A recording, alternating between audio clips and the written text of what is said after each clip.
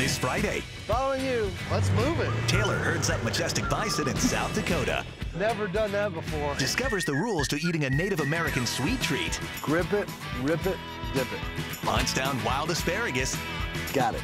and then taste tests some chislic. What is chislic? Basically cubed meat. We've worked for a meal today. That's right. Doesn't get any more South Dakota than this. It's an all-new state plate from South Dakota. Friday at 8 Eastern on INSP Destination Fridays.